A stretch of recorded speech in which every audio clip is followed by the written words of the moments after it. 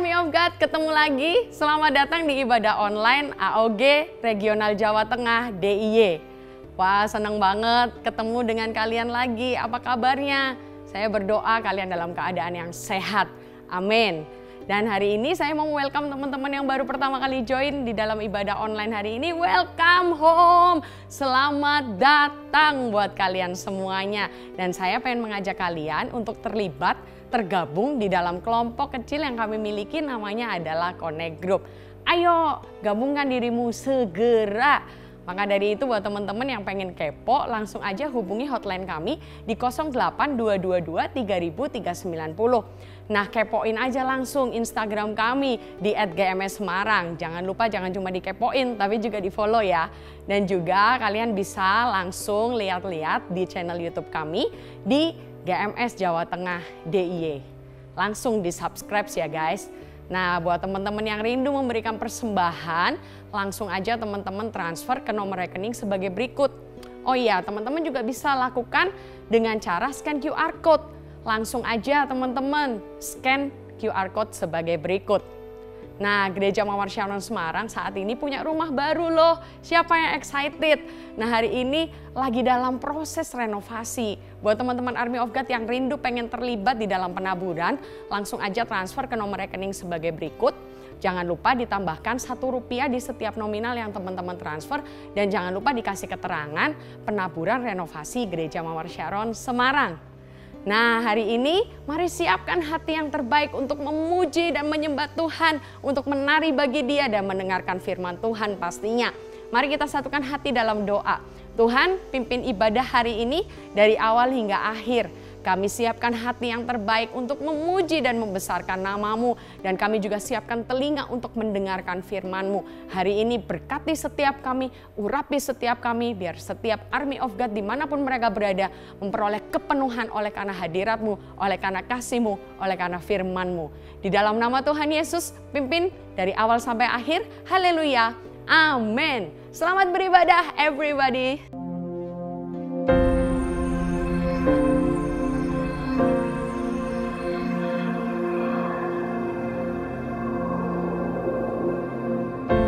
Orang yang suka memuji akan kuat roh doanya. Orang yang berdoa pasti berakhir memuji. Karena Allah bertata di atas pujian. Siapa memuji, Allah mengatasi hidupnya.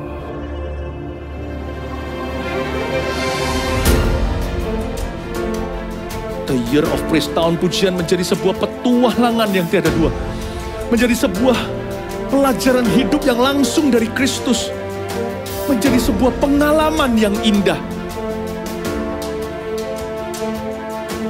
Waktu kita memuji Tuhan, seluruh kerajaan itu berdiri di sampingmu. Waktu kita memuji seluruh kerajaan Allah dan kereta-keretanya yang tidak kelihatan berkuda dan berapi-api itu berada di kanan kiri. Semakin fisik kita lemah, roh kita semakin memuji Tuhan. Semakin jasmani kita terbatas, semakin rohani kita tidak boleh dibatasi.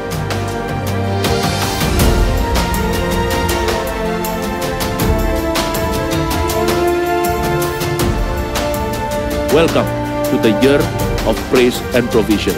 Mari kita mengizinkan Tuhan merajut rancangan yang belum pernah kita bayangkan.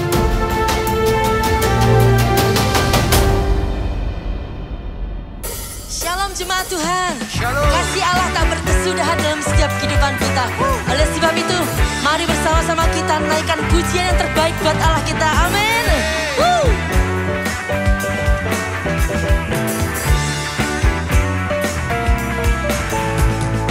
Kasih Allah tak berkesudahan,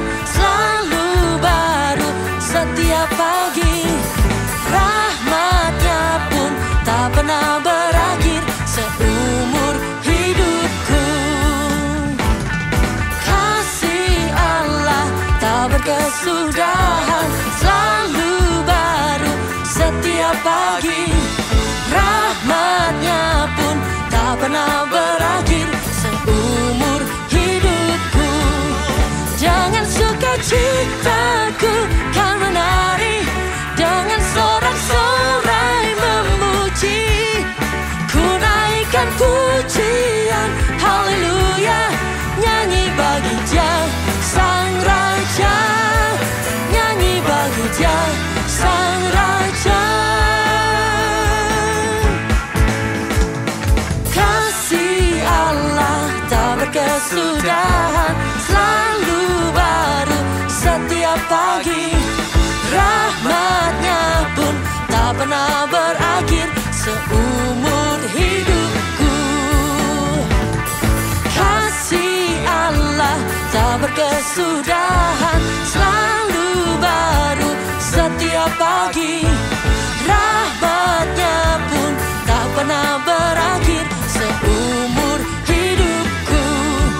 Dengan sukacitaku kan menari Dengan sorak-sorai memuji.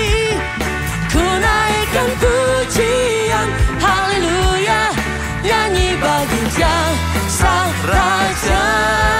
Nyanyi bagi sang raja. Dengan sukacitaku kan menari Dengan sorak-sorai memuji. Ku naikkan pujian Haleluya. Nyanyi bagi dia. Sang Raja. Nyanyi bagi dia. Sang Raja. Dengan sukacitaku kan menari.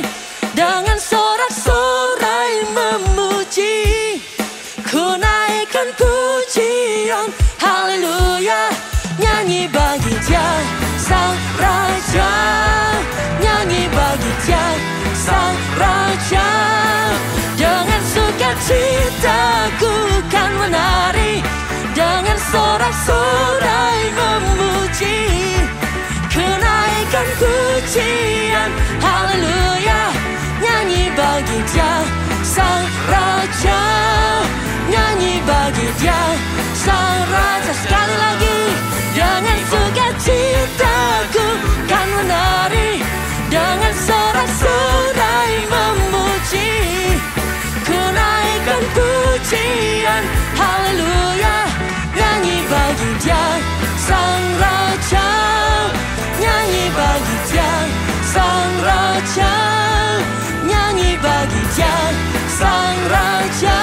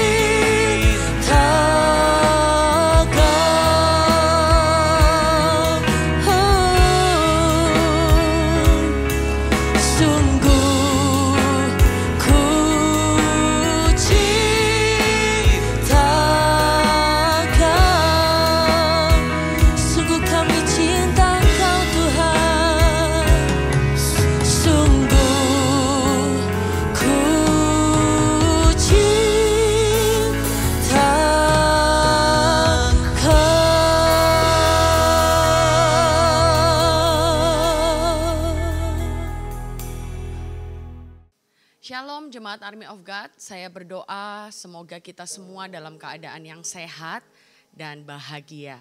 Dan hari ini kita mau sama-sama membenamkan diri kita di dalam pemberitaan firman Tuhan. Mari dengarkan dengan hati yang haus dan lapar. Pertama-tama mari kita buka bersama-sama dalam Matius 5 ayat 13 sampai 15. Kamu adalah garam dunia, jika garam itu menjadi tawar dengan apakah ia diasinkan tidak ada lagi gunanya selain dibuang dan diijak orang. Kamu adalah terang dunia, kota yang terletak di atas gunung tidak mungkin tersembunyi. Lagi pula orang tidak menyalakan pelita lalu meletakkannya di bawah gantang, melainkan di atas kaki Dian sehingga menerangi semua orang di dalam rumah itu. Sepanjang bulan ini kita akan banyak membahas bagaimana kita menjadi orang yang berpengaruh, menjadi orang yang highly influential Mari hari ini buka hatimu lebar-lebar. Mari kita satukan hati kita dalam doa. Bapak mengucap syukur terima kasih Tuhan sudah ajari kami di sepanjang bulan Agustus ini berbicara banyak tentang tentang bagaimana kami menjadi pribadi yang highly influential. Tuhan terima kasih hari ini kami mau tutup bulan ini dengan makanan yang lebih lagi Tuhan kami mau dedikasikan hidup kami benar-benar menjadi orang yang berpengaruh bagi banyak orang. Kami mengucap syukur sungguh berbicara di tengah-tengah kami ya Tuhan. Biar lahir orang-orang yang berpengaruh. Biar lahir jemaat AOG yang dapat mempengaruhi orang-orang yang ada di kanan dengan firman-Mu, dengan kehendak-Mu membawa mereka semakin dekat dengan rencana dan kehendak Tuhan. Terima kasih Bapa, perdengarkan suaramu di tengah-tengah kami ya Allah Roh Kudus, di dalam nama Tuhan Yesus. Haleluya. Amin. Di dalam Matius tadi ayat 5 sampai ayat 13 dikatakan kamu adalah garam dunia. Kita semua adalah garam dunia. Jika garam itu jadi tawar, dengan apakah ia diasinkan? Tidak ada lagi gunanya selain dibuang dan diinjak orang. Lalu di, di ayat yang ke-14, kamu adalah terang dunia. Kota yang terletak di atas gunung tidak mungkin tersembunyi. Kita semua dikatakan di dalam ayat ini, kita ini bukan dikatakan kita akan eh, kemungkinan jadi garam dunia. Tidak ditulis demikian. Kita tidak ditulis oleh firman Tuhan, kamu adalah garam dunia. Kita ditulisnya adalah kamu adalah garam dunia. Bukan kamu kira-kira nanti ke depan akan jadi garam dunia. Bukan. Artinya ini adalah sebuah kepastian yang Tuhan inginkan untuk kita kerjakan bersama-sama. Tuhan pengen kita menjadi garam dunia, Tuhan pengen kita jadi terang dunia. Dalam Matius 5 ayat yang ke-16, Demikianlah hendaknya terangmu bercahaya di depan orang supaya mereka melihat perbuatanmu yang baik dan memuliakan Bapamu yang di sorga. Demikianlah kamu, hendaklah kamu, kalau kamu punya terang, hendaklah terangmu itu bercahaya di depan orang. Supaya mereka melihat perbuatanmu yang baik dan perbuatanmu yang memuliakan Bapa di sorga. Supaya orang-orang yang ada di kanan kiri kita bisa melihat kalau kita ini bercahaya dan kita sedang memuliakan Allah kita. Sedang memuliakan Bapa kita. Di sepanjang bulan ini kita sudah diperlengkapi dengan banyak hal pengajaran demi pengajaran bagaimana kita menjadi orang yang berpengaruh. Hari ini saya mau mau klaim lagi, hari ini saya mau tambahkan lagi. Judul khotbah saya adalah Influence Not Popular. Kita ini dipanggil untuk berpengaruh seperti garam di dalam makanan. Kalau kita makan sesuatu tanpa garam rasanya pasti hambar. Setiap kita dapat membuat, membawa pengaruh bagi sekitar kita. Setiap kita, setiap Anda dan saya, kita ini dapat membawa pengaruh kepada orang-orang yang ada di sekitar kita yang mau sama-sama katakan amin.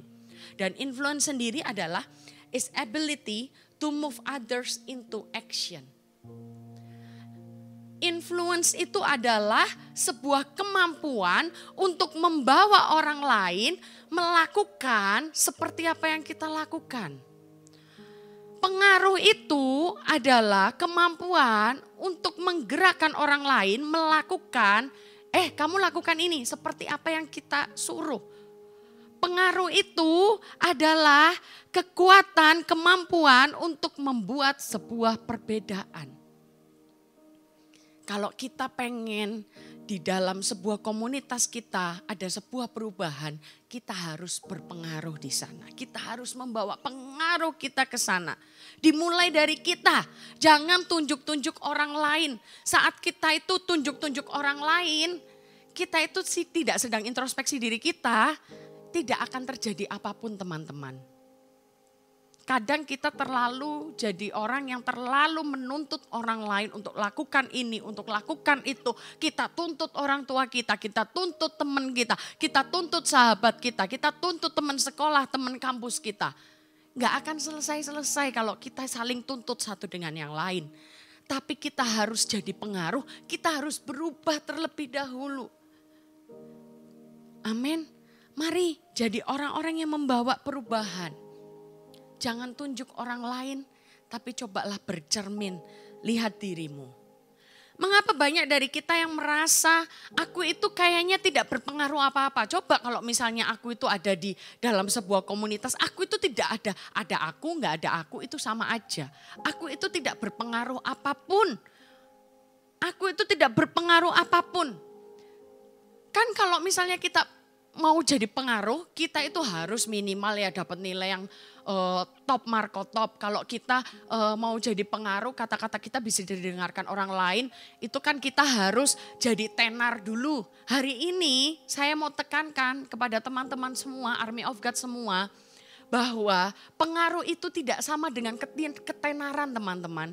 Kita nggak perlu tunggu terkenal dulu, kita nggak perlu tunggu jadi populer populer dulu untuk kita itu bisa mempengaruhi orang lain. No. Kita nggak perlu menunggu jadi populer, kita nggak perlu menunggu jadi tenar untuk kita bisa mempengaruhi sebuah komunitas, untuk mempengaruhi sebuah kelompok, nggak perlu. Sebetulnya kita itu tidak perlu mencapai sesuatu untuk menjadi seorang yang berpengaruh. Tapi bukan berarti ini jadi excuse ya. Oh ya udah berarti hidupnya asal-asalan aja. Oh ya udah berarti nggak usah punya mimpi. Oh ya udah berarti nggak usah punya visi. Oh ya berarti nggak usah terlalu ngoyo, nggak usah bekerja keras. Salah. Kalau bisa why not? Gue akan semakin komplit. Kalau engkau tenar, engkau punya ability, engkau punya kemampuan, engkau bisa, uh, engkau punya nilai yang tinggi, engkau bisa berprestasi. Kalau engkau jadi orang yang sukses, why not? Kenapa? Tidak itu pasti akan jadi pengaruh. Tapi setiap kita, satu persatu dari kita Army of God, kita ini dapat mempengaruhi orang lain. Kita ini se apa ya, selemah apa pun diri kita, kita ini mampu mempengaruhi orang lain. Maka dari itu hari ini berhati-hatilah dengan hidup kita Toh juga kalau kita bicara soal orang yang tenar, orang yang terkenal, tidak semua orang yang terkenal itu bisa membawa pengaruh yang baik dalam hidup kita. Banyak orang yang tidak terkenal justru berpengaruh baik dalam hidup kita. Contoh orang tua kita, contoh siapa mungkin teman sahabat kita. Mereka mungkin bukan orang yang tenar, bukan orang yang populer, tapi mereka bisa mempengaruhi hidup kita. Contoh siapa? Pemimpinmu, CGLmu, coachmu, TLmu, gembalamu, atau mungkin siapa pun juga pemimpin di tempat kerjamu mungkin pemimpinmu cuma satu level di atasmu, masih jadi supervisor misalnya, tapi dia mempengaruhi hidupmu. Karena in, influence ini tidak bicara soal ketenaran, kepopuleran seseorang. Kita harus waspada, kita harus hati-hati. Dalam kehidupan kita secara konstan kita pasti terkena pengaruh dari orang lain Tuhan mendesain kita untuk bertemu dengan seseorang, kita selalu punya alasan untuk bertemu dengan orang lain. Alasannya adalah antara Tuhan pengen orang itu mempengaruhi kita atau kita mempengaruhi orang tersebut. Selalu ada alasan kita bertemu dengan seseorang. Maka dari itu kita harus menjaga hidup kita di dalam Matius di atas dikatakan kita ini bukan eh, nggak uh, ada kata mungkin atau kelihatannya kamu akan jadi garam dunia. No, dikatakan kamu adalah garam dunia clear. Itu clear, kita adalah garam dunia, kamu adalah garam dunia, aku adalah garam dunia. Aku adalah terang dunia yang sudah dipilih Allah. Jadi Tidak ada kata mungkin kita adalah garam dunia, tidak ada kata kelihatannya kita adalah garam dunia. Di garis bawahi teman-teman, dalam firman Tuhan jelas banget kalau kamu dan aku, kita adalah garam dan terang dunia. Kenapa kok tadi saya bilang kita semua itu mampu mempengaruhi orang kita ini dengan segala kelemahan, dengan segala kekuatan kita ini bisa tanpa harus jadi populer, tanpa harus jadi terkenal, tanpa harus jadi tenar, kita itu mampu untuk mempengaruhi. Di sini ada nggak yang pernah kalau tidur ya, tidur beberapa hari ini tuh di tempat saya ini banyak nyamuk gitu ya. Pada saat tidur Lalu kita itu terganggu dengan suara nyamuk yang tiba-tiba hmm, pernah nggak? Akhirnya kebangun dan aduh rasanya gimana cara menyingkirkan, mau berjuang, mau ditepok-tepok kok sudah malam, kok sudah nggak punya tenaga, kok mata ini berat, kok rasanya males, tapi kok ini mengganggu, aku nggak bisa tidur. Pernah nggak? Seperti itu saya beberapa kali ini mengalaminya teman-teman. Tahu nggak suara nyamuk itu bisa sangat mengganggu tidur kita. Bisa sangat ganggu tidur kita dan ternyata nyamuk itu biasanya kenapa kok uh, apa uh, saya itu karena saya penasaran ya. Kenapa ya nyamuk itu kok uh, ini ya bersuara ngangeng-ngangeng di telinga saya pada saat saya tidur. Ternyata itu nyamuk biasanya mendeteksi panas tubuh dan keringat serta karbon dioksida yang kita hembuskan. Jadi karena kita mengeluarkan karbon dioksida dan mereka itu merasakan panas tubuh. Kalau keringat kelihatannya enggak ya karena saya ASEAN gitu ya. Merasakan panas tubuh di tengah-tengah udara yang dingin dia merasakan panas tubuh saya. Lalu serta karbon dioksida yang saya keluarkan sehingga mengundang nyamuk datang ke arah kepala kita saat kita tidur menyebabkan kita mendengar mereka berdengung di dekat telinga kita. Dan suara dengung yang kita dengar itu merupakan suara yang dibuat oleh kepakan sayap mereka yang berkecepatan 250 gerakan per detik. Wow. 250 gerakan per detik pantesan bunyinya ngeng, ngeng, gitu.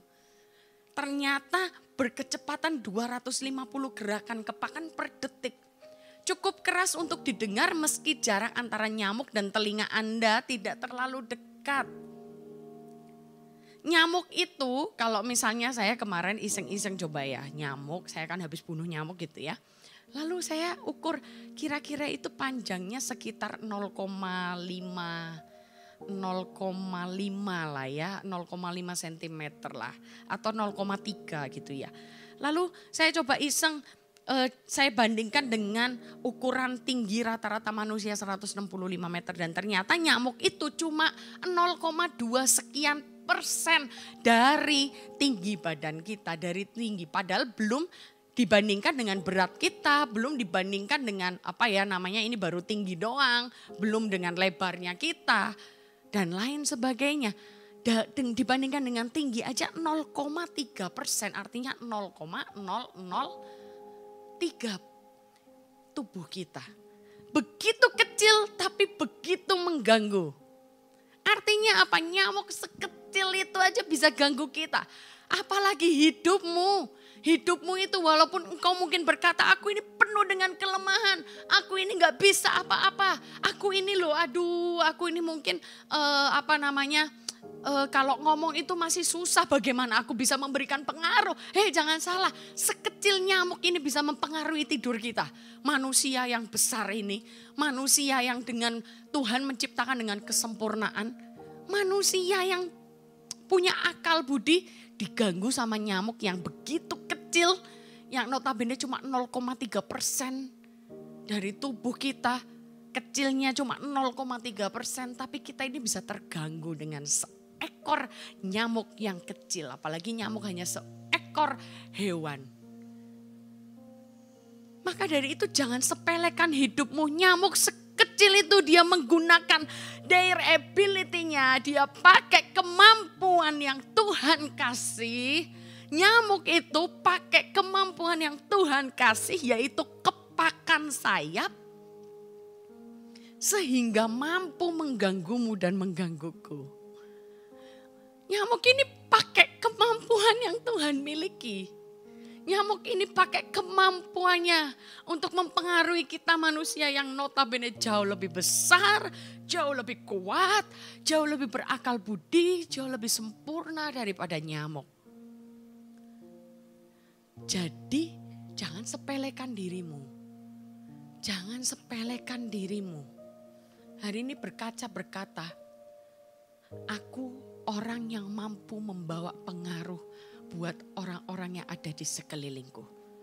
Berkaca, katakan itu berulang-ulang. Aku adalah orang yang mampu membawa pengaruh untuk orang-orang yang ada di sekelilingku. Aku adalah orang yang mampu membawa pengaruh kepada orang-orang yang ada di sekelilingku. Kalau ngomong sebutkan komunitasnya juga boleh CG ku, keluargaku, kotaku, sekolahku, kampusku, whatever. Tapi engkau adalah orang yang mampu. Kita ini punya kemampuan untuk membawa perubahan, untuk mempengaruhi. Amin. Hari ini apa pun di dalam hidup kita, apa pun ya di dalam kehidupan kita adalah cerminan dari hasil adalah cerminan dari hasil pilihan yang sudah kita buat. Jadi hari ini tadi saya katakan hati-hati dalam menentukan sikapmu karena sekecil apa pun tindakanmu itu bisa mempengaruhi orang lain. Firman Tuhan berkata dalam Yesaya 41 ayat 10, "Janganlah takut sebab aku menyertai engkau." Janganlah bimbang sebab aku ini Allahmu. Aku akan meneguhkan bahkan akan menolong engkau. Aku akan memegang engkau dengan tangan kananku yang membawa kemenangan. Firman Tuhan berkata jangan takut karena apa? Tuhan Allah itu menyertai engkau. Firman Tuhan berkata jangan bimbang. Hari ini jangan bimbang untuk memberikan pengaruh yang baik, pengaruh yang benar kepada orang-orang yang ada di sekelilingmu. Jangan bimbang sebab aku ini Allahmu. Dia yang akan meneguhkan engkau. Dan hari ini Tuhan sedang meneguhkan engkau melalui firmannya. Lima roti di tanganmu, Tuhan akan lipat kalikan ganda. Jangan berkata aku nggak bisa apa-apa. Little things di dalam hidupmu itu bisa memberikan pengaruh teman-teman. Bisa memberikan pengaruh. Bangkit menjadi orang yang berpengaruh. Nggak cuma terkenal, nggak usah tunggu terkenal bangkit jadi orang yang berpengaruh, memberikan pengaruh yang benar, memberikan pengaruh yang benar kepada orang-orang sekelilingmu. Yang benar adalah apa? Firman Tuhan. Segala yang tertulis dalam firman-Nya itu adalah kebenaran yang sejati. Bangkit. Jadilah orang yang berpengaruh, memberikan kebenaran, memberitakan kebenaran kepada banyak orang. Kita dipanggil untuk membuat dunia lebih baik, teman-teman kita dipanggil untuk membuat dunia lebih baik. Kita ini agen-agen perubahan. Amin. Lalu gimana caranya menjadi orang yang membawa pengaruh yang benar, pengaruh yang uh, bukan pengaruh yang salah, tapi bagaimana caranya kita membawa pengaruh yang benar. Mazmur 23 ayat 1a firman Tuhan berkata, Mazmur Daud, Tuhan adalah gembalaku. Bagaimana caranya menjadi orang yang membawa pengaruh yang benar, membawa firman, mempengaruhi orang lain untuk menerima firman Tuhan.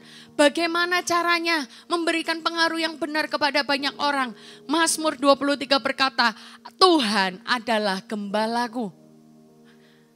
Hanya ada satu hal cara untuk kita menjadi orang yang berpengaruh kepada orang-orang yang ada di sekeliling kita.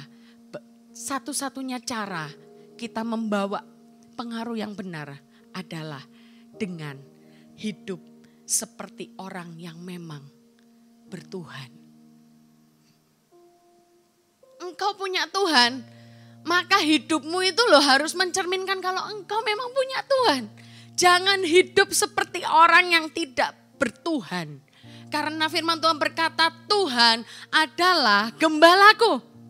Sadarlah kalau kita ini anak-anak Allah. Jadi kita adalah anak muda yang bertuhan. Karena kita ini punya siapa? Punya Tuhan Yesus. Kita ini punya roh kudus. Kita ini punya Allah yang besar. Kita ini punya Bapa. Maka dari itu hiduplah seperti anak-anak Allah. Jangan hidup seperti orang-orang yang tidak bertuhan. Mudeng ya, jangan hidup, jangan hidup seperti orang yang tidak bertuhan. Tuhan adalah gembala kita dan kita adalah domba-domba. Kita adalah domba-domba yang punya gembala agung. Kita ini adalah domba-domba yang punya gembala. Hiduplah dalam pimpinan Tuhan teman-teman hidup dalam pimpinannya. Tuhan adalah gembala kita. Jangan hidup seperti orang yang tidak bertuhan. Gimana caranya aku bisa memberikan pengaruh yang benar? Dia gembala kita. Hiduplah seperti engkau memang hiduplah karena engkau memang bertuhan. Seperti anak Tuhan. Jangan hidup seperti orang yang tidak bertuhan. Di, di ayat selanjutnya Mazmur 23 ayat 1 sampai 6 Tuhan adalah gembalaku. Kita ini punya gembala agung teman-teman. Dikatakan takkan kekurangan aku. Jangan takut. Melangkah aja. Jangan takut untuk memberitakan kebenaran. Jangan takut untuk engkau mengkoreksi orang lain, teman sahabatmu misalnya temanmu itu ngomong kasar, temanmu itu misalnya melakukan sesuatu yang uh, buruk. Jangan takut melangkah saja, jangan takut nasihatilah, tegurlah. Jangan takut untuk memberitahukan firmannya. Nggak perlu kok, engkau sampai bawa-bawa ayat. Mungkin teman kita orang yang tidak eh, apa namanya tidak satu agama dengan kita. Nggak perlu kita bawa-bawa ayat, bertobatlah dan lain sebagainya. Tapi engkau bisa kasih sesuatu perkataan yang mungkin bisa memberikan, eh itu hal yang nggak baik loh Perkataan yang keluar dari mulutmu itu menyakitkan loh. Perkataan yang seperti ini itu adalah iman loh. Perkataan itu iman loh. Kita harus berkata-kata yang baik. Supaya hatimu loh ikut damai sejahtera. Tegurlah temanmu. Kita harus jangan takut tapi kita belajar untuk melangkah. Karena firman Tuhan takkan kekurangan aku itu ngomong soal jangan khawatir. Dia yang akan memelihara engkau, jangan khawatir dia yang akan menyertai engkau. Tuhan adalah gembala kita. Amin. Di ayat selanjutnya, ia membaringkan aku di padang yang berumput hijau. Ia membimbing aku ke air yang tenang. Ia menyegarkan jiwaku, ia menuntun aku di jalan yang benar oleh karena namanya. Dia ini gembala yang menuntun kita. Jadi kita nggak perlu takut kalau kita bicara, kalau kita menjalani kehidupan kita, kita nggak perlu takut. Kalau kita itu berserah kepada Tuhan, menjalani hidup kita, jangan takut. Karena apa? Ia yang akan membaringkan kita di padang gurun, di padang yang berumput hijau. Ia membaringkan aku ke air yang tenang. Dikatakan ia menyegarkan jiwaku. Ia menuntun aku di jalan yang benar oleh karena namanya. Dia Allah yang menuntun kehidupan kita. Jangan worry kita hanya perlu mendekat kepada pribadi Tuhan. Sekalipun aku berjalan dalam lembah kekelaman, aku tidak takut bahaya sebab engkau besertaku. Gadamu dan tongkatmu itulah yang menghibur aku. Gembala kita yang akan mendidik dan mengarahkan hidup kita. Jadilah anak yang mau diarahkan, jadilah anak muda yang mau dididik. Gada dan tongkat itu yang akan menghibur engkau. Gada dan tongkat itu akan menyertai engkau. Gada dan tongkat bicara soal bagaimana Tuhan mendidik dan mengarahkan kehidupan kita. Tuhan ini yang punya jalan, Tuhan itu yang tahu gembala kita itu tahu semuanya teman-teman.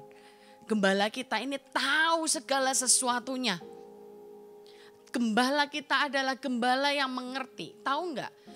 Kalau misalnya kita mau jadi gembala atau kita jadi pemimpin, jadilah pemimpin yang sudah pernah melakukannya. Jadilah teladan. Gembala ini ngomong soal dia akan membawa domba-dombanya kepada tujuan. Tujuan ilahi. Artinya apa? Gembala kita ini tahu arahnya ke mana. Gembala kita ini tahu berapa lama. Gembala kita ini ngerti orang yang sedang dia pimpin domba-dombanya itu sifatnya seperti apa. Gembala kita itu tahu. Dia mengerti. Nah kalau misalnya kita jadi orang yang berpengaruh dan pada saat ini Tuhan memilih kita untuk menjadi seorang pemimpin dan saya berdoa kita semua dipakai Tuhan untuk menjadi pemimpin-pemimpin baik pemimpin-pemimpin di gereja maupun pemimpin-pemimpin di marketplace. Tuhan pengen kita jadi pemimpin saat kita jadi pemimpin jadilah pelaku. Jangan asal surah suruh surah suruh. Kalau engkau misalnya di dalam CG, engkau jadi pemimpin, lalu engkau dapat anak, lalu engkau harus follow up, terus engkau punya sponsor, engkau cuma asal suruh, eh tolong ya di follow up, tapi engkau sendiri nggak bisa follow up. Tapi namanya kalau sudah jadi pemimpin sih di gereja pasti sudah dipastikan begitu engkau diangkat jadi pemimpin engkau pasti harus bisa follow up orang. Karena sebelumnya engkau jadi sponsor ya terlebih dahulu jadi member pun diajari tapi engkau harus, kalau engkau jadi pemimpin, ayo buat laporan keuangan, ayo buat seperti ini, ayo buat seperti ini, tapi kita nggak bisa menghidupinya. Kacau teman-teman. Kalau kita mau jadi pengaruh, kita harus menghidupi. Menghidupi kebenaran di dalam hidup kita. Izinkan gada dan tongkat itu menyertai kita, mengarahkan kita izinkan gada dan tongkat Tuhan itu mendidik kita dan mengarahkan. Karena apa? Gembala agung kita itu tahu. Gembala agung kita ini tidak perlu dipertanyakan lagi. Gembala agung kita ini tidak perlu diragukan lagi. Dia adalah Allah yang mengerti tujuannya ke mana. Dia Allah yang tidak akan menyesatkan kita teman-teman. Dia Allah yang tidak mungkin menyesatkan kita. Maka dari itu kita harus menghidupi setiap didikan, setiap arahan supaya apa? Saat kita melakukan doing little things untuk orang lain, saat kita melakukan sesuatu hal yang mungkin kecil, mungkin gak seberapa, mungkin kita meremehkan perkataan yang keluar dari lidah bibir kita, tapi kalau kita menghidupi firmannya, bahkan perkataan kita pun mungkin singkat, jelas, padat, tapi itu bisa menghidupkan harapan orang lain.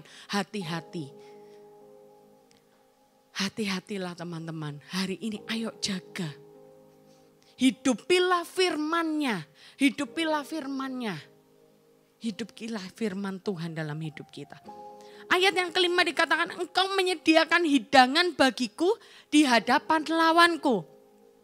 Engkau mengurapi kepalaku dengan minyak pialaku penuh melimpah. Ayat yang keenam, kebajikan dan kemurahan belaka akan mengikuti aku seumur hidupku dan aku akan diam dalam rumah Tuhan sepanjang masa. Orang akan melihat bagaimana kita ini diberkati. Kalau kita hidup di dalam jalan Tuhan, kita tidak hidup seperti orang yang tidak bertuhan, kalau kita benar-benar hidup karena kita punya Allah ya kita berarti hidup di dalam firman-Nya. Karena kita punya Tuhan artinya kita harus hidup dalam kasih. Karena kita punya Allah yang begitu hebat maka kita harus hidup di dalam hal-hal yang supranatural demi supranatural di dalam kuasa Tuhan. Karena kita adalah anak-anak Allah. Karena kita menghidupi firman-Nya, orang kanan kiri akan melihat karena apa kebajikan dan kemurahan belaka akan mengikuti kita seumur hidup tanpa engkau berkata-kata mungkin, tanpa engkau mungkin melakukan sesuatu, orang itu melihat kehidupan engkau. Orang itu bisa lihat, wow, tanpa kita mungkin kenal, kita mungkin belum pernah tatap muka langsung, tapi kita pernah ya, misalnya sama artis atau misalnya siapa pun public figure yang kita ngerti, kita nggak pernah tatap langsung dengan orang itu, tapi hidupnya benar-benar bisa mempengaruhi kita hal-hal yang baik ya. Hamba Tuhan yang begitu dipakai Tuhan luar biasa, Pastor Philip Mantova. Mungkin kita nggak pernah bertatap langsung dengan Pastor Philip Mantova. Tapi hidup Pastor Philip bisa benar-benar kita bisa lihat bahwa kebajikan dan kemurahan belakang mengikuti kehidupan Pastor Philip. Orang akan melihat bagaimana kita ini disertai Tuhan Asal apa? Hiduplah berdampingan dengan firman-Nya. Asalkan apa? Asalkan kita ini mau hidup di dalam arahan gembala kita. Gembala agung kita. Kita punya gembala, hiduplah sesuai dengan kehendak dan tuntunan dari gembala kita. Jangan hidup seperti orang yang tidak bertuhan. Berkata-kata seperti orang yang tidak bertuhan. Berpikir seperti orang yang tidak punya Tuhan. Melakukan sesuatu seperti orang yang tidak punya Tuhan. Jangan sama dengan orang yang ada di luar yang belum mengenal Tuhan. Kita harus hidup layaknya memang anak-anak Kristus. Bagaimana anak-anak Kristus hidup, kita harus hidup seperti itu. Amin. Hari ini ayo Tuhan tidak tidur teman-teman. Dia standby. Tuhan tidak tidur. Saat kita hidup sebagai anak-anak Allah, real anak-anak Allah, kebajikan dan kemurahan belaka akan mengikuti kita. Orang yang ada di kanan kiri kita akan melihat, wow, ternyata engkau disertai Tuhan ya. Wah, mujizat demi mujizat terjadi dalam hidupmu. Wah, engkau kok bisa bertahan sih di tengah badai seperti ini. Wah, imanmu luar biasa ya. Wah, perkataanmu itu loh benar-benar menghidupkan. Padahal nggak ketemu langsung, tapi mungkin kita dengar dari seseorang, eh si dia ngomong kayak gini loh.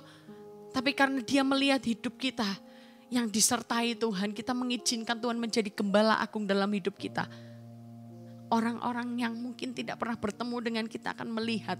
Artinya apa? Kita sedang apa? Mempengaruhi orang itu. Mempengaruhi orang yang ada di kanan kiri kita dengan hidup kita. Hiduplah seperti anak-anak Kristus. Karena kita punya Allah. Hiduplah seperti anak-anak yang memang punya Allah. Amin.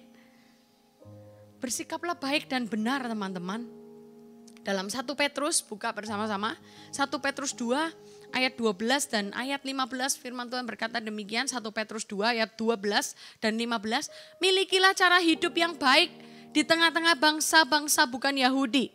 Supaya apabila mereka memfitnah kamu sebagai orang durjana, mereka dapat melihatnya dari perbuatan-perbuatanmu yang baik dan memuliakan Allah pada hari ia melawat mereka. Ayat 15, sebab inilah kehendak Allah, yaitu supaya dengan berbuat baik kamu membungkam kepicikan orang-orang yang bodoh. Saya berkata dari tadi, hati-hati dengan apa yang kita lakukan. Hati-hati dengan apa yang kita katakan.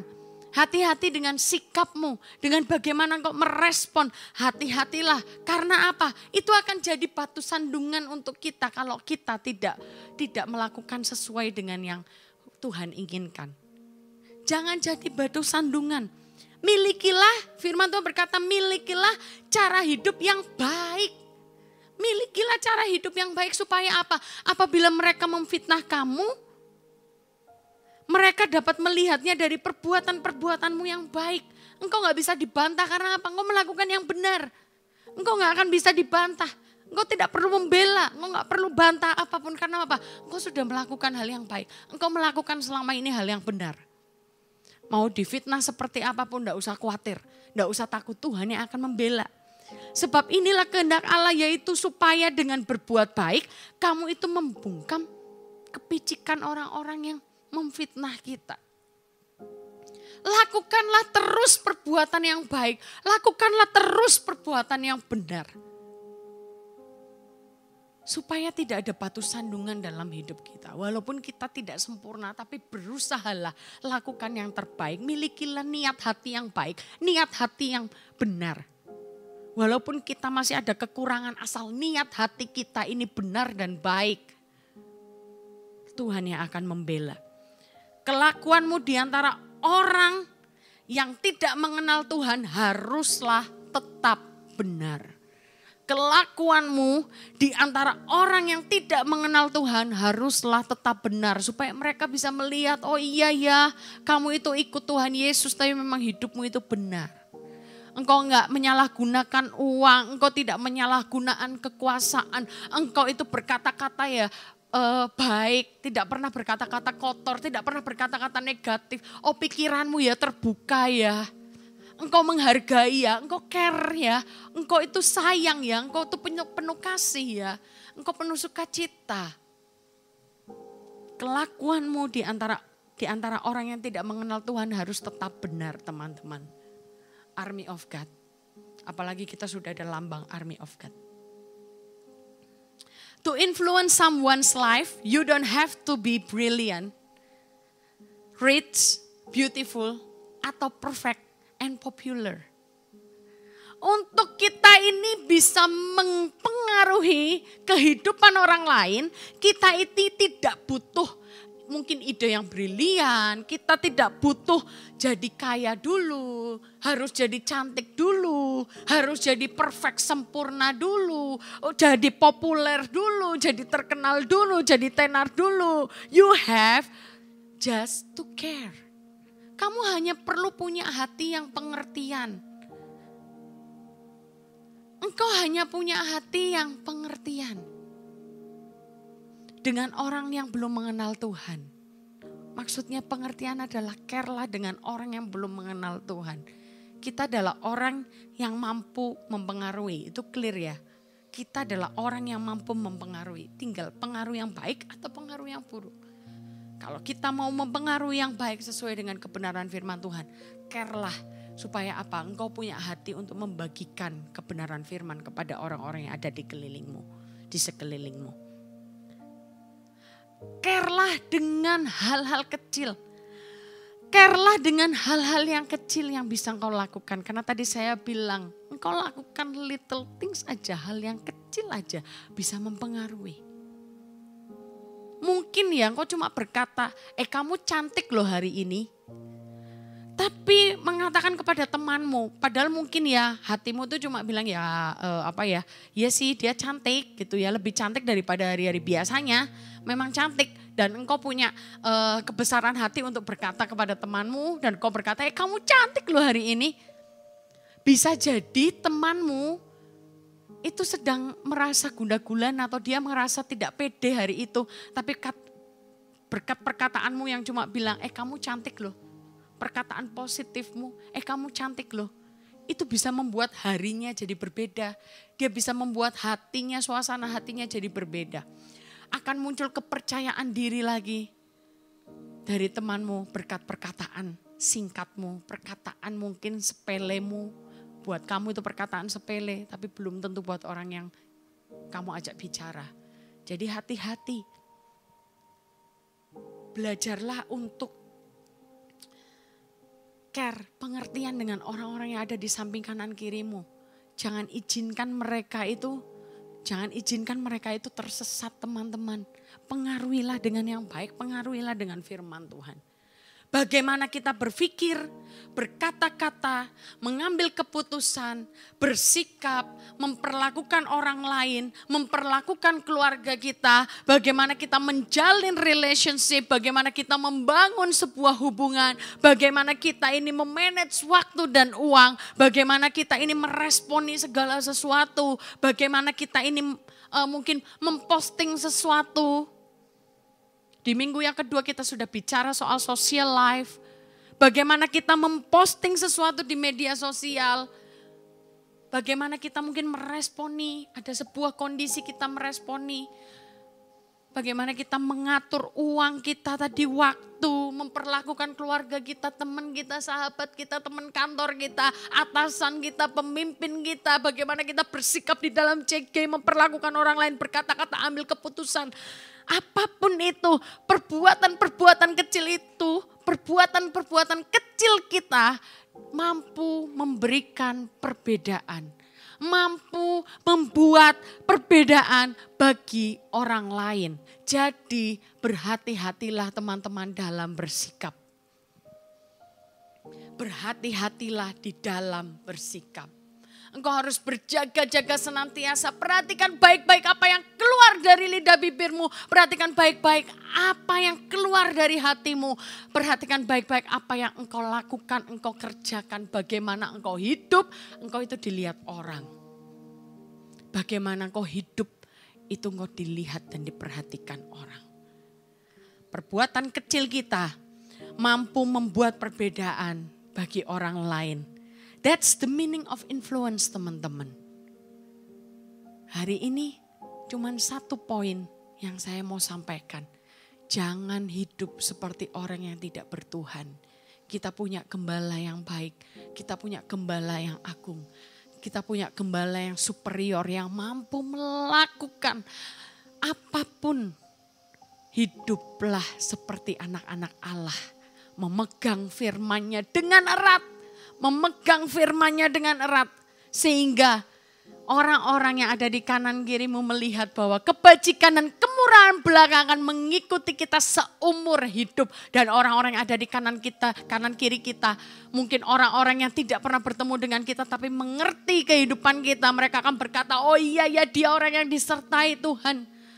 Dan secara tidak langsung mungkin perkataan tindakan kita ini mempengaruhi orang lain. Jangan sepelekan nyamuk yang begitu kecil yang mengganggu kita saat tidur malam. Jangan menyepelekan kekuatanmu yang mungkin kau berkata kelebihanku itu sedikit. Jangan sepelekan itu. Karena dua roti, lima ikan di tangan Allah bisa menjadi luar biasa.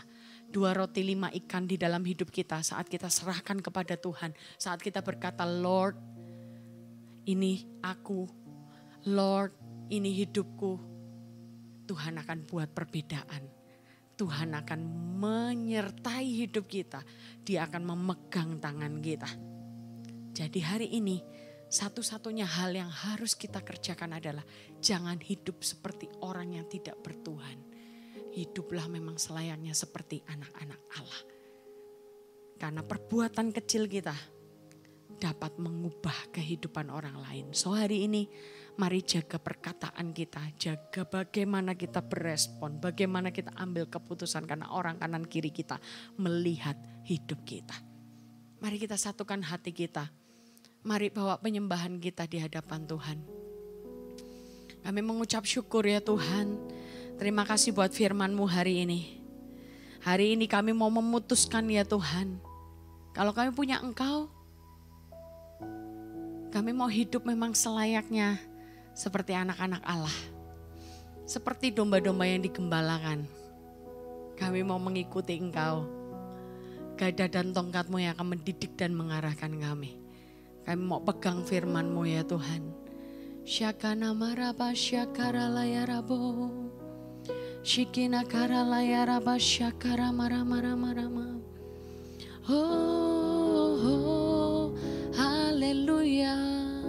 Jesus. Ya roh kudus.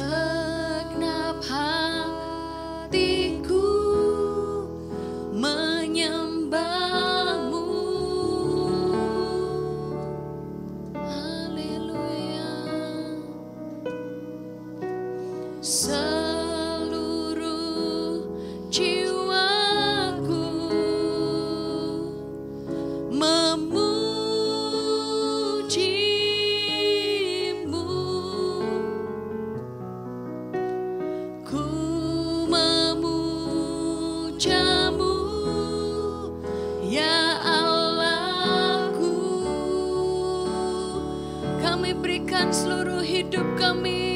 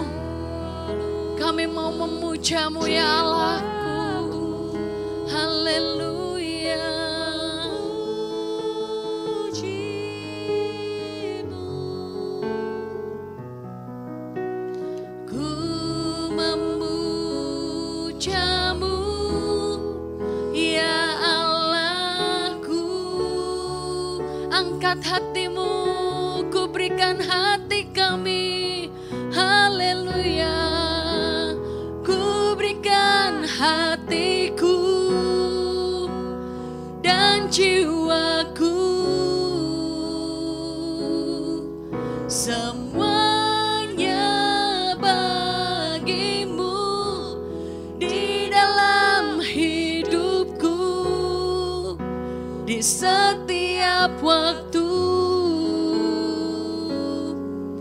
nyatakan jalanmu ku berikan hatiku ini hidup dan hati kami ya Tuhan kami persembahkan kepadamu, kami berikan kepadamu ya Tuhan.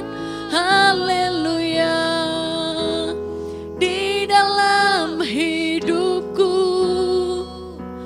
Setiap waktu, nyatakan jalanmu. Kami berikan seluruh hidup kami ya Tuhan.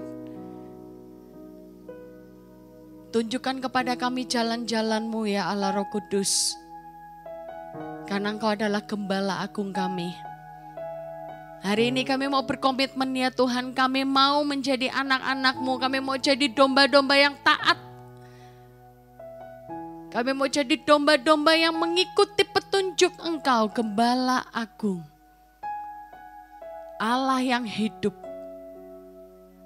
Hari ini berikan kepada kami hati yang taat ya Tuhan di dalam nama Tuhan Yesus. Berikan kepada kami hati yang taat. Melakukan sedikit kecil-kecil di dalam kehidupan kami. Kami mau taat ya Tuhan. Dari waktu ke waktu. Hal-hal yang sepele-sepele kami mau belajar untuk taat. Karena kami nggak mau Tuhan memandang hal yang kecil. Mungkin sedikit perkataan kami, sedikit sikap kami, sedikit ide kami bisa mempengaruhi hidup orang lain. Tuhan ajari setiap jemaat AOG hari ini untuk tidak meremehkan apa pun yang ada di dalam hidup mereka. Aku berdoa di dalam nama Tuhan Yesus supaya tidak ada jemaat Army of God yang meremehkan tindakan-tindakan di dalam hidupnya, perkataan-perkataan di dalam hidupnya, supaya mereka benar-benar menjaga bagaimana mereka harus bertindak, bagaimana mereka memperlakukan orang lain, bagaimana mereka berkata-kata, bagaimana mereka mengambil keputusan, bagaimana mereka mengatur waktu, mengatur uang, bagaimana mereka meresponi segala sesuatu. Ajari jemaat Army of God supaya mereka punya awareness di dalam hatinya ya Tuhan menjaga kehidupannya sedemikian rupa. Tidak hidup seperti orang yang tidak bertuhan, tapi hidup layaknya anak-anak Allah. Hidup layaknya domba-domba yang digembalakan oleh gembala yang agung. Aku berdoa dalam nama Tuhan Yesus. Lanjutkan ya Tuhan. Firmanmu dalam hidup setiap jemaatmu. Supaya setiap mereka dapat merenungkan firman ini dan pelahan demi pelahan melakukannya dengan setia bersama dengan Engkau. Meteraikan firman-Mu di dalam hati kami, di dalam nama Tuhan Yesus. Haleluya. Amin. Saya percaya mulai hari ini, ayo kita bersama-sama izinkan Tuhan menyertai kehidupan kita dan mari lakukan perubahan-perubahan kecil dalam kehidupan kita. Amin. Jadilah pengaruh buat orang-orang yang ada di kanan kirimu. Dan hari ini saya mau welcome teman-teman yang baru pertama kali join. Welcome home buat kalian semua. Saya mengundang kalian untuk bisa terlibat bersama-sama dengan kami untuk bisa join uh, masuk ke dalam komunitas kami namanya adalah Connect Group. Mari kita bertumbuh bersama-sama di dalam pengenalan akan Tuhan. Mari bertumbuh dalam firman-Nya lebih lagi. Dan saya juga rindu berdoa buat teman-teman yang belum pernah menerima Tuhan Yesus sebagai juru selamat pribadi. Dia Allah yang sudah menebus kehidupan kita loh Dan kalau kita pengen hari ini kita sudah dengar firman dan kita berkata Tuhan aku pengen jadi pengaruh yang baik buat orang lain. Tuhan aku izinkan engkau jadi gembala agung dalam hidupku. Hari ini engkau yang berkata demikian, engkau pengen bertumbuh lebih lagi, langkah awalnya adalah kita terima pribadi Tuhan. Menjadikan dia gembala agung kita. Buat engkau-engkau yang rindu didoakan bisa arahkan tanganmu ke depan dan ikuti doa saya. Allah Bapa yang bertata dalam kerajaan sorga, terima kasih engkau Allah yang baik dalam hidup kami. Hari ini kami mengaku bahwa kami adalah orang-orang yang berdosa. Saat ini kami diikat dengan dosa. Tapi hari ini kami sudah dengar firman-Mu. Kami mau ya Tuhan hidup di dalam tuntunan Engkau. Kami mau dibebaskan kami mau dilepaskan dari belenggu dosa. Kami mau hidup merdeka ya Tuhan bersama dengan Engkau. Kami mau percaya hari ini dengan hati kami dan mengaku dengan mulut kami bahwa Engkau adalah Yesus satu-satunya jalan kebenaran dan hidup. Satu-satunya Tuhan kami, Sang Keselamatan. Jadilah gembala agung yang menuntun hidup kami dari hari ini sampai selama-lamanya. Terima kasih buat karya penebusanmu ya Tuhan. Di dalam nama Tuhan Yesus. Haleluya. Amin. Congratulations buat kalian yang baru saja didoakan. Selamat menempuh perjalanan iman bersama dengan Tuhan. Engkau nggak sendirian, kita berjuang bersama-sama. Dan silakan buat teman-teman yang baru saja didoakan, klik tombol welcome home di atas kami pengen mengenal kalian lebih lagi. Dan buat setiap jemaat Army of God di mana pun kau berada, angkat kedua tanganmu. Hari ini jadilah jemaat Army of God yang highly influential. Jadilah jemaat Army of God yang mempengaruhi orang-orang yang ada di kanan kirimu dengan firman Tuhan. Mempengaruhi hal yang benar. Aku berdoa biar engkau diberikan kekuatan, diberikan kemampuan untuk mempengaruhi orang-orang yang ada di kanan kirimu untuk mengenal Tuhan. Jadilah anak muda yang hebat dan kuat di dalam Tuhan. Hari ini dia Allah menyertai engkau dari hari ini sampai selama-lamanya di dalam nama Tuhan Yesus penyertaan Tuhan sempurna. Haleluya. Amin. Selamat hari Minggu. God bless you.